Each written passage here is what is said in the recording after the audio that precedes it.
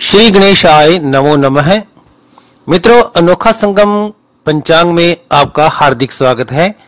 आज हम बात करने वाले हैं पंचांग के विषय में। आज के पंचांग में तिथि, वार, नक्षत्र, योग और कर्ण की विस्तृत जानकारी के साथ साथ आज का शुभ समय अभिजीत मुहूर्त, अशुभ समय राहु काल आज के दिन और रात का चौगड़िया और आने वाले दिनों के व्रत और त्योहारों के बारे में पूरी पूरी जानकारी मिलती है। आइए जानते हैं आज का शुभ पंचांग। पंचांग से पहले आज का सुविचार, उड़ने में बुराई नहीं है, आप भी उड़ सकते हैं, लेकिन उतना ही उड़ो जहाँ से ज़मीन साफ़ दिखाई दे। आज की तारीख 13 अक्टूबर 2021 आज का वार बुधवार। आज अश्वनी माह का तेईसवां दिवस है अश्विनी माह के शुक्ल पक्ष की अष्टमी आठ बजकर सात मिनट शाम तक रहने वाली है। तदुपरांत नवमी तिथि प्रारंभ हो जाएगी।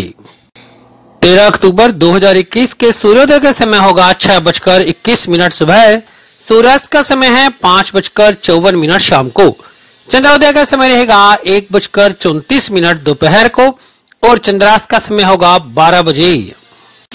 आज का नक्षत्र पूर्वाषाढ़ा दस बजकर उन्नीस मिनट सुबह तक रहने वाला है। इसके बाद उत्तराषाढ़ा नक्षत्र प्रारंभ हो जाएगा। आइए जानते हैं पूर्वाषाढ़ा नक्षत्र के बारे में कुछ बातें। जिन व्यक्तियों के नाम अक्षर भू, ध, फ और ढैश शुरू होते हैं, वे लोग पूर्वाषाढ़ा नक्षत्र के होते हैं। इनकी राशि होती है धनु, राशि स्वामी गुरु। तत्व की बात करें तो अग्नि तत्व गण इनका रहता है मनुष्य का।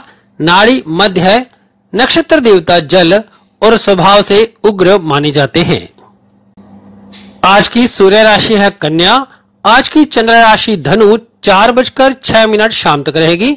इसके बाद चंद्रमा मकर राशि में प्रवेश करेगा। आज का पहला कर्ण विष्टि आठ बजकर चौवन मिनट सुबह तक रहने वाला है। आज का दूसरा कर्ण बव आठ बजकर सात मिनट शाम तक रहेगा। आइए जानते हैं विष्टि और बव के विषय में। ज्योतिष शास्त्र में विष्टि कर्ण को शुभ नहीं माना जाता। इस कर्ण में जन्म लेने वाले व्यक्ति पर विष्टि कर्ण का अशुभ प्रभाव रहता है, जिसके कारण इसके जातक का आचरण सदा ही संदिग्ध रहता है। इनका मन अनुचित कार्यों में लगता है। इस कर्ण के जातक का एक विशिष्ट स्वभाव यह है कि अगर ये शत्रु से बदला लेने की सोचे तो किसी भी हद तक जा सकते हैं। आइए जानते हैं बवकर्ण के विषय में। ज्योतिष शास्त्र के अनुसार बवकर्ण में जन्म लेने वाला व्यक्ति धार्मिक स्वभाव का होता है। इस कर्ण का व्यक्ति शुभ कार्यों में मन लगाता है और अपने कार्य में निरंतर स्थायी रूप से लगे रहना पसंद करते हैं। अनैतिक और धर्म विरुद्ध कार्यों को ये लोग दूर ही रहते हैं। इनकी बुद्धि तीक्ष्ण होती है, जिससे ये भ्रम में नहीं उलझते अपने कार्य और व्यवहार से समाज में काफ़ी मान सम्मान, प्रतिष्ठा प्राप्त करने वाले लोग बवकर्ण के होते हैं। आने वाली कुछ महत्वपूर्ण तिथियाँ इस प्रकार रहेंगी। तेरह तारीख को दुर्गा अष्टमी, सरस्वती बलिदान, संधि पूजा और मासिक दुर्गाष्टमी होगी। चौदह तारीख को महानवमी, दुर्गा बलिदान, पंद्रह तारीख को दशहरा। आप सबको दशहरे की बहुत बहुत शुभकामनाएँ। सरस्वती बलिदान के दौरान माता सरस्वती का सप्तमी, अष्टमी और नवमी को पूजन किया जाता है। सप्तमी को पूजन शुरू किया जाता है और नवमी के दिन पूजन की समाप्ति होती है। इसे ही सरस्वती बलिदान कहते हैं। मित्रों, आयुधों की पूजा करना संधि पूजा कहलाता है। कुछ लोग जिनके पास आयुध हैं, शस्त्र हैं, वे अपने शस्त्रों की पूजा इसी दिन करते हैं। आज का योग सुकर्मा तीन बजकर अड़तालीस मिनट सुबह तक रहेगा। इसके बाद धृत योग प्रारंभ हो जाएगा। आज दिशाशूल उत्तर दिशा की ओर है। यदि आपको उत्तर दिशा में आवश्यक रूप से जाना हो तो धनिया, तुलसी और तिल खाकर प्रस्थान करें। ऐसा करने से दिशाशुल का प्रभाव कम होगा और आपकी यात्रा भी सुखद और मंगलमय हो सकती है। आइए जानते हैं आज के योग सुकर्मा के बारे में।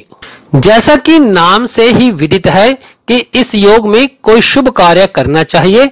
मान्यता के अनुसार इस योग में नई नौकरी ज्वाइन करें, घर में कोई नया धार्मिक कार्य का आयोजन करे। इस योग में किए गए कार्यों में किसी प्रकार की कोई बाधा नहीं आती है और कार्य शुभ फलदायक होता है। ईश्वर का नाम लेने या सत्कर्म करने के लिए भी यह योग अति उत्तम माना गया है। कुछ लोगों का मत है कि यदि आपने सुकर्मा योग में जन्म लिया है तो आप एक धनी व्यक्ति होने की संभावना है। जो उत्कृष्ट व्यापारिक अंतर्दृष्टि रखता है, आप बुद्धिमान, साहसी और आपका झुकाव अध्यात्म की ओर हो सकता है। आज के शुभ समय में आज का विजय मुहूर्त दो बजकर तीन मिनट दोपहर से दो बजकर उनचास मिनट दोपहर तक रहने वाला है। ब्रह्म मुहूर्त का समय रहेगा चार बजकर इकतालीस मिनट सुबह से पाँच बजकर इकतीस मिनट सुबह तक। आज अभिजीत मुहूर्त नहीं है, क्योंकि अभिजीत मुहूर्त और राहु काल बुधवार के दिन लगभग एक ही समय पर होते हैं। आज के शुभ समय में अमृत कालम तीन बजकर तेईस मिनट अगले दिन सुबह से चार बजकर छप्पन मिनट अगले दिन सुबह तक रहेगा। आज का अशुभ समय, आज का राहु काल बारह बजकर सात मिनट दोपहर से एक बजकर चौतीस मिनट दोपहर तक रहने वाला है। यमगंड काल का समय रहेगा सात बजकर सैतालीस मिनट सुबह से नौ बजकर चौदह मिनट सुबह तक। इन दोनों ही समय में किसी भी प्रकार का शुभ और मांगलिक कार्य शुरू ना करें, अन्यथा कोई विघ्न आ सकता है। यदि आप नया कार्य कोई शुरू करना चाहते हैं तो दिन का चौघड़िया अवश्य देखें। दिन के चौघड़िए में लाभ समय रहेगा छह बजकर चौबीस मिनट सुबह से सात बजकर पचास मिनट सुबह तक। अमृत काल का समय होगा सात बजकर पचास मिनट सुबह से नौ बजकर सोलह मिनट सुबह तक। शुभ समय दस बजकर बयालीस मिनट सुबह से बारह बजकर सात मिनट दोपहर तक रहेगा।